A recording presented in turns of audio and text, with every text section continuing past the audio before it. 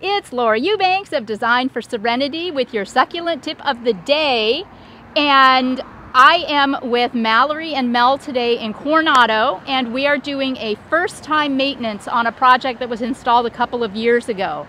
And I'm very, very pleased with the plants. Everything looks great, but we've got a lot of crab rat, crab grass. Say that three times fast.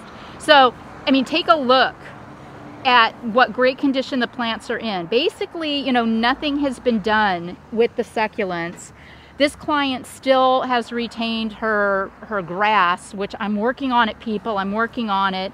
Um, so a lot of this Heinz 57, as I call it, crabgrass and whatnot has moved into our installation. So you can see that we need to do, you know, remove some spent blooms, and pull a lot of weeds. Now I'm not going to treat any of this with pesticide or, or, I'm sorry with herbicide because of the proximity to the plants.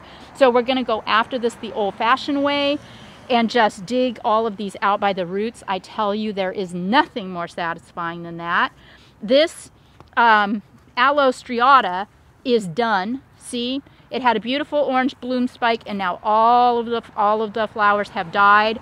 So in this case, you want to just take the bloom down as low as you can and you're done. This plant will come back. It is not a monocarpic plant, so you will get new blooms next year from this girl.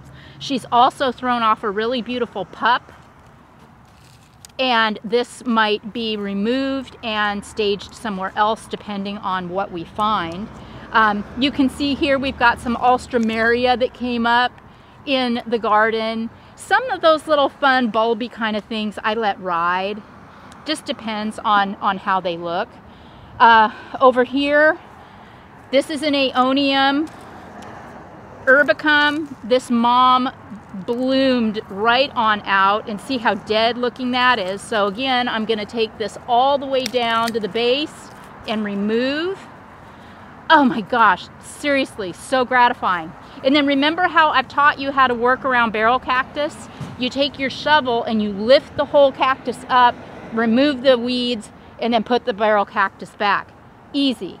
This Hebe, this was a bush that was removed when we put in the succulents and I am going to take it out. Perhaps we can rehome it somewhere in her backyard because it does not make sense with succulents.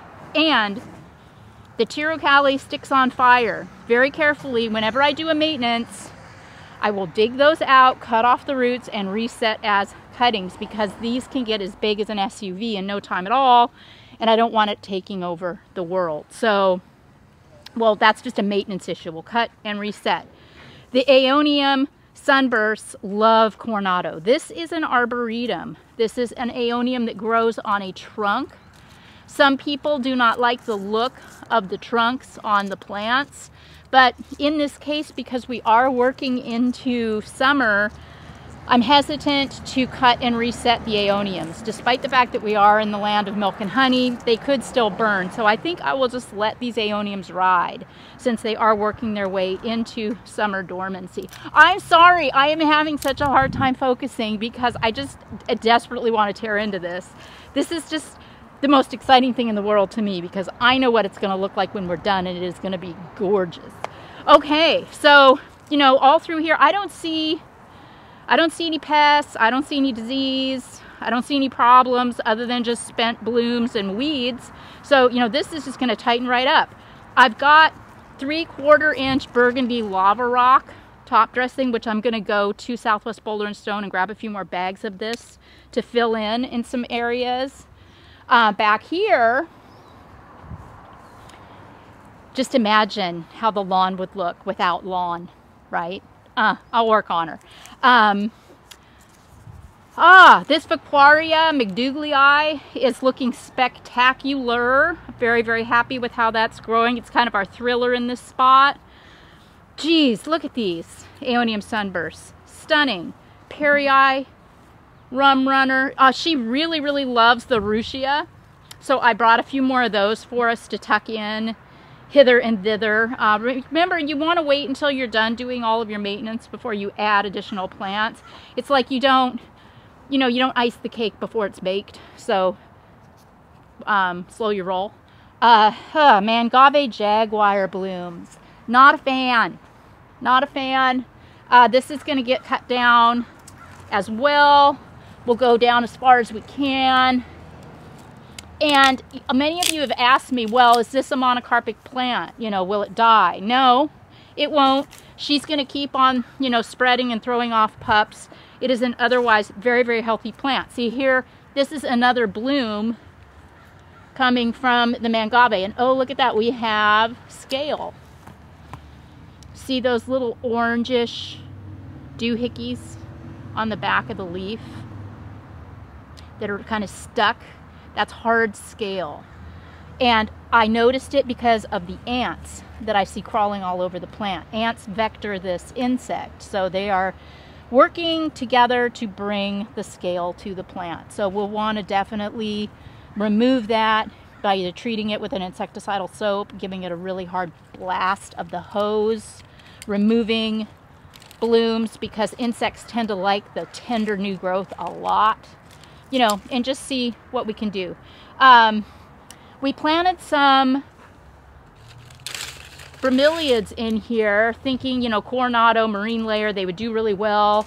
And, you know, in some cases they did, and in some cases they didn't. So the ones that are doing well, we will leave, and the ones that aren't, we'll take out. I don't even remember what was in here, but I don't know, guys. I think it's dead. Um, ooh, Kalanchoe luciae. Some of these do really well, and some don't. And this is a case, obviously, where the Luciae is not really in a very happy spot. This is what I call a pouting plant. Because look, it's not dead. There's a lot of new baby growth. So I will remove these nasty looking pieces and just leave this baby growth exposed and we will hope for the best there. I'll probably add another little plant, you know, to kind of give it a little something something. Uh, this is also the time when you're seeing a lot of spider webs. Now, you know, be gentle about that as I just knock the spider web off the plant because spiders are friends of the garden and they do eat a lot. They're beneficials and they do eat a lot of the bugs that we don't like. Oh dear. And then there's this poor Echeveria that is, um, look at that. I mean, it literally was, it's been laying on its side like that for God knows how long, and still it survives. Isn't that amazing? So we'll clean up all of this and do a little reset and see if we can't get some more life out of that plant. Uh, la la la, yeah, so, oh, look at all of this mealybug. This white sticky stuff, that's mealybug. And mealybug can take out a plant. I have never seen such an infestation of mealybug on an aeonium before. I don't think that there's a lot of air circulation along the side of the house, which is probably why that plant weakened and got infested, but not to worry. I think at this stage we can save it just by blasting it with some insecticidal soap or the hose. Uh, I think it'll be all right. So one more. Oh my gosh. Look at this.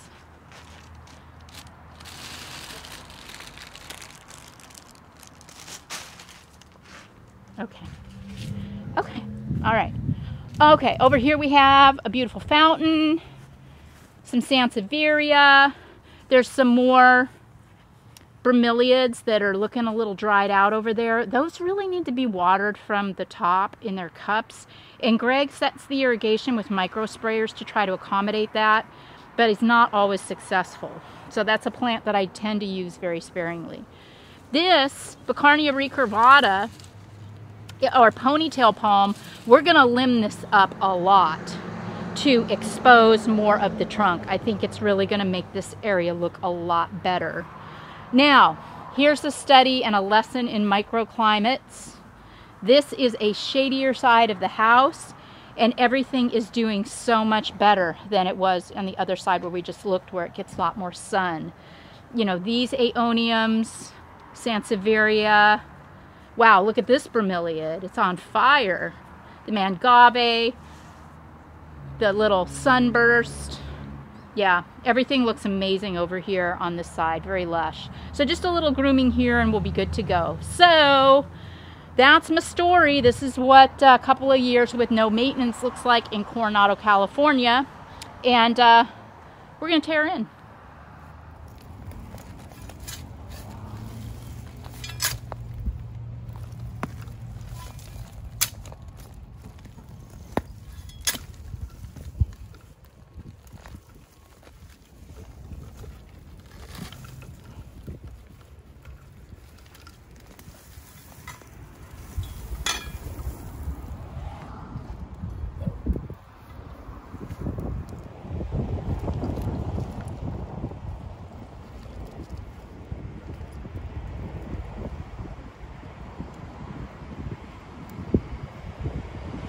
and then just shove stuff around it.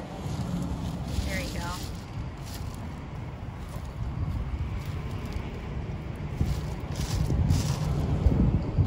So much better.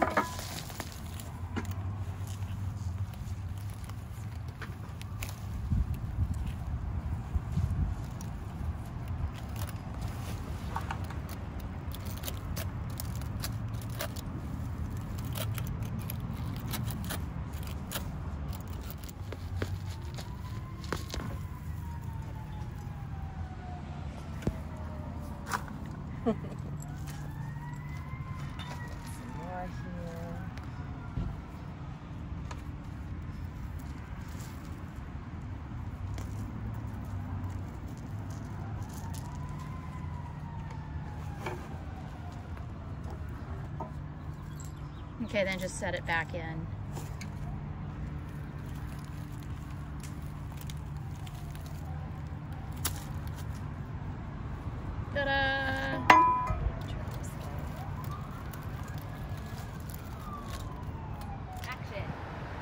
So, it took Mallory, Mel, and I about five and a half hours, and that included me leaving the site to buy 15 bags of three quarter inch rock and a lunch break. So, you know, not bad for just two times a year, which is what we are going to do here at this property.